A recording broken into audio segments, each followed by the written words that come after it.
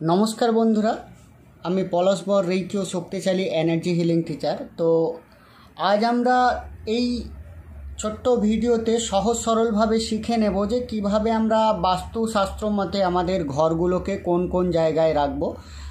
আর এটা করার জন্য আপনারা একটি কম্পাসের সাহায্য নিতে পারেন। আপনারা ফোনে কোনো অ্যাপ ডাউনলোড করে নিতে পারেন এইভাবে, যাতে করে আপনি সঠিক দিকটা অনুভব করতে পারেন।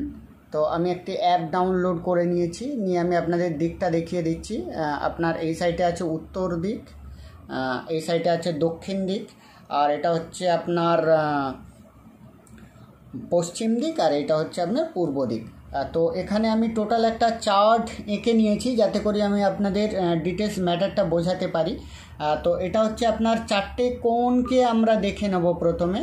এই যে কোণটাকে আমরা প্রথমে দেখতে পাচ্ছি, এই কোণটার নাম হচ্ছে রাক্ষস কোণ। তো এটা হচ্ছে আপনার দক্ষিণ পশ্চিম কোণ যেটা পড়ছে, এটাকে বলা হচ্ছে রাক্ষস কোণ। আর এটা হচ্ছে আপনার উত্তর পশ্চিম যেটা কোণ পড়ছে, সেটাকে বলা হচ্ছে বায়বীয় কোণ। আর এই যে সাইডটা, এটাকে বলা হচ্ছে দৈব কোণ। এই কোণটা হচ্ছে আপনার উত্তর পূর্ব কোণ। আর এই যে সাইডটা আছে, এটাকে বলা হচ্ছে আপনার অগ্নিকোণ। এটা হচ্ছে আপনার পড়ছে পূর্ব এবং দক্ষিণ কোণ। তো এই হচ্ছে আমাদের বাস্তুশাস্ত্র মতে চারটে কোণ, আর এই যে জায়গাটা, এটা হচ্ছে মিডিল পয়েন্ট আচ্ছা এবার আমরা জেনে নেব যে বাস্তুশাস্ত্র মতে কোন জায়গায় কোন ঘর আমরা স্থাপন করব বা আমাদের ঘর কোন জায়গায় স্থাপিত হলে বেস্ট এনার্জি আমরা জেনারেট করতে পারব এবং আমাদের যে পরিবার আছে তারা সুখ সমৃদ্ধিতে বসবাস করবে বা রোগ শোক যাতে না হয় বা বাস্তুর পজিটিভ এনার্জি সর্বদা যেন আমাদের মধ্যে প্রবাহিত হয়। তো এই যে রাক্ষস কোণটা আপনারা দেখতে পাচ্ছেন অর্থাৎ পশ্চিম, দক্ষিণ পশ্চিম যে কোণ, এই কোণে কিন্তু সবসময় বাথরুম আপনাকে স্থাপন করার চেষ্টা করতে হবে। ইয়েস এখানে আমি আপনাদের লিখে দিচ্ছি বাথরুম।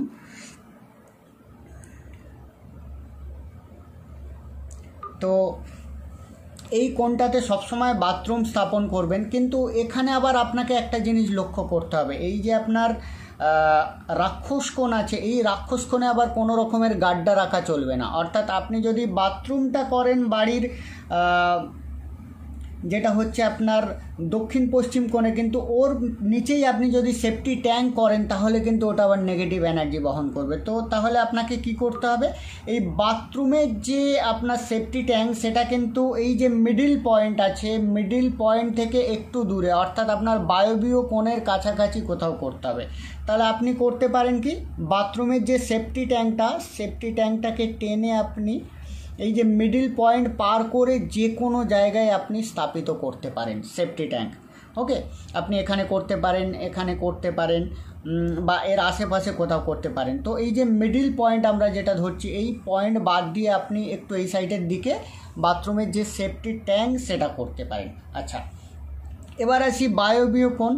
বায়বীয় কোণটা হচ্ছে আলো বাতাস সম্পন্ন কোণ আর কি। তো এই জায়গাটাতে আপনি করবেন কি, এই জায়গাটা যতটা বেশি সম্ভব আপনি কিন্তু খোলাখুলি রাখার চেষ্টা করবেন। অর্থাৎ যাতে করে এই জায়গাটাতে আপনার আলো বাতাস বেশি পরিমাণ চলাচল করতে পারে। আচ্ছা এবার যে কোণটা নিয়ে আলোচনা করব সেটা হলো দৈব কোণ।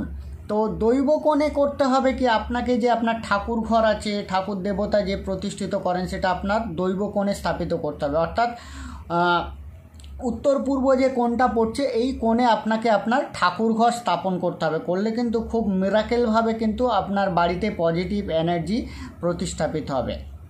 আচ্ছা এবার যে জায়গাটা নিয়ে আলোচনা করব সেটা হচ্ছে অগ্নিকোণ। তো অগ্নিকোণ নামটা শুনেই আপনি বুঝতে পারছেন।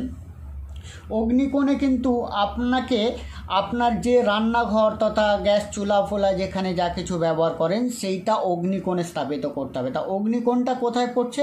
অগ্নিকোণটা পড়ছে কিন্তু আপনার দক্ষিণ পূর্ব কোণে। অর্থাৎ আপনার রান্নাঘর সবসময় দক্ষিণ পূর্ব কোণে করবেন। আচ্ছা রান্নাঘর দক্ষিণ পূর্ব কোণে করলেন, কিন্তু এখানে আবার আপনার যে ট্যাপ সিস্টেম আছে, অর্থাৎ আপনি যদি আপনার জলের কোনো ব্যবস্থা করেন, সেইটাকে কিন্তু আবার দক্ষিণ পূর্ব কোণে রাখা চলবে না। কারণ জল আর অগ্নি পাশাপাশি রাখলে সেটা কিন্তু প্রচণ্ড ভয়ানক। অগ্নি কিন্তু জলকে নিভিয়ে দেবে, আবার জল কিন্তু অগ্নি কিন্তু জলকে নষ্ট করে দেবে, আবার জল কিন্তু অগ্নিকে নিভিয়ে দেবে। তাই জল আর অগ্নি যাতে কাছাকাছি না থাকে সেটা ব্যবস্থা করতে হবে। তাহলে আপনার ট্যাপটাকে কোথায় রাখবেন? তাহলে আপনার রান্নাঘর থেকে একটু দূরে, অর্থাৎ এই যে মিডিল পজিশান আছে, এটাকে আমরা মিডিল পজিশান আমরা ধরছি। তো মিডিল পজিশান থেকে একটু দূরে আপনি চাইলে এইখান থেকে টেনে এই জায়গাটাতে আপনার জলের ট্যাঙ্ক করতে পারেন বা এই মিডিল পজিশান ছেড়ে এই সাইডটাতে গিয়ে আপনি কিন্তু আপনার জলের ট্যাঙ্ক করতে পারেন বা আপনি জল যেটা ট্যাপ সিস্টেম করেছেন সরি ট্যাঙ্ক নয় জলের যে ট্যাপ বা জল আপনি যেটা ব্যবস্থা করেন, সেইটা কিন্তু এখানে করতে পারেন। আচ্ছা এইবারে আসি এই যে মিডিল পোর্শনটা এই জায়গাটাতে আপনি কি করবেন? এইখানে আপনার ড্রয়িং রুম বসার রুম এই সমস্ত জায়গাগুলো কিন্তু আপনি মিডিল পজিশানে করতে পারেন। তাতে করে কিন্তু বাস্তুর পজিটিভ এনার্জি কিন্তু আপনার জীবনে খুব সুন্দরভাবে কাজ করবে। আবার অনেকে করে কি, একটা প্রচণ্ড ভুল করে, এই যে রাক্ষস কোণ, এই কোণটা প্রচণ্ড ভয়ানক। এইখানে অনেকে করে কি, যে তাদের যেটা দৈব কোণ, তাদের জিনিসগুলো রাখে। অর্থাৎ এই কোণটাতে, অর্থাৎ দক্ষিণ পশ্চিম কোণে যেখানে কিনা বাথরুম হওয়ার কথা, সেখানে অনেকে ভুল করে ঠাকুর ঘর স্থাপন করে। আবার যেটা দৈব কোণ, সেখানে অনেকে ভুল করে করে কি, এখানে বাথরুম স্থাপন করে। তো এই রকম যদি ভুল করেও হয়ে থাকে, তাহলে কিন্তু আপনাদের এই বাস্তুশাস্ত্র যে ম্যাটার অনুযায়ী আপনাদের এই ডিসিশানটাকে চেঞ্জ করা উচিত। অর্থাৎ আপনার কোন চেঞ্জ করা উচিত, একটু কনস্ট্রাকশান একটু ভাঙাচোরা করে হলেও আপনি এই জায়গাটাকে ঠিক করে নিন। না হলে কিন্তু দেখবেন লাখ লাখ টাকা রোগ শোকের পেছনে চলে যাবেন বিভিন্ন ধরনের মামলা, মকদ্দমায় আপনার কিন্তু টাকা নষ্ট হয়ে যাবে। তাই আপনারা যদি ভুল করে এই কোন দুটোর যে জায়গা সেই দুটোকে চেঞ্জ করেন অর্থাৎ রাক্ষস কোণের জায়গায় দৈব কোণের জিনিস, অর্থাৎ এই কোণে আপনি ঠাকুর দেবতা রাখতে শুরু করেন, আর দৈব কোণের জায়গায় পায়খানা বাথরুম করতে শুরু করেন বা এই জায়গায় স্থাপিত করেন, তাহলে প্রচণ্ড ক্ষতিকারক হবে। আচ্ছা তাহলে গেল এটা হলো, মাঝখানে আপনি বসার রুম করছেন এই সাইডে করছেন আপনি আপনার বাথরুম জাতীয় কিছু, আর বাথরুমের যে সেফটি ট্যাঙ্ক সেটা একটু সাইডে সরিয়ে আনলেন। বায়বীয় কোণটা আপনি যতটা সম্ভব ফাঁকা রাখার চেষ্টা করছেন দৈবকোণে ঠাকুর দেবতা রাখছেন। অগ্নিকোণে আপনি রান্নাঘর বা গ্যাস চুলা করছেন, বা অগ্নিকোণ থেকে আপনি আপনার যে জলের যে ট্যাপটা সেটা একটু সরিয়ে একটু এই সাইডে করে আনলেন বা এই সাইডে করে আনলেন। আচ্ছা এবারে যারা ঘরের প্রধান দরজা করবেন, অর্থাৎ যেখানে লোহার গেট থাকে, অর্থাৎ আপনার বাড়িতে প্রবেশের যে মুখটা, যেখান দিয়ে আপনি আপনার গাড়ি ঘোড়া বা আপনি আপনার বাইক হতে পারে, আপনার ফোর হুইলার হতে পারে, প্রবেশ করান তো সেই গেটটা আপনি কোথায় করবেন? সেই গেটটা আপনি সবসময় চেষ্টা করবেন একটু অগ্নিকোণে সাইড করে, অর্থাৎ এই সাইটে আপনি আপনার প্রধান এন্টারেন্স গেটটা করার চেষ্টা করবেন ইয়াস আচ্ছা এইটা যদি করা পসিবল না হয়, তাহলে আপনাকে করতে হবে কি? অপোজিট যে কোনো সাইটে একটু এই সাইটের কোণ করে আপনি গেটটাকে করে নিলেন। ওকে আপনি চাইলে এই সাইডে করলেন বা এই সাইডে করলেন। এছাড়াও আপনি যদি চান আপনার গেটটাকে এই সাইডেও করতে পারেন। ইয়েস তো বেস্ট হচ্ছে আপনার প্রবেশের মানে ঘরে প্রবেশের দরজা যেটা হবে সেটা হচ্ছে এইটা। এটা যদি অপশান না থাকে, তাহলে আপনি ওয়েস্ট সাইডে, অর্থাৎ আপনার পশ্চিম দিকের একটু সাইড ঘেসে এই সাইডে করতে পারেন, বা আপনি হচ্ছে আপনার নর্থ ইস্ট অর্থাৎ আপনার উত্তর পূর্ব কোণের একটু এই সাইড ঘেসে আপনি আপনার কিন্তু যে প্রধান দরজা, সেটা করতে পারেন।